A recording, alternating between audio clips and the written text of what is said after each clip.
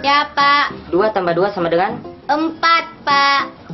Kalau salsa, 5 tambah 5 sama dengan? Sepuluh, Pak. Kalau ai, Ya, Pak. 5 kurang 3 sama dengan? Tidak tahu, Pak.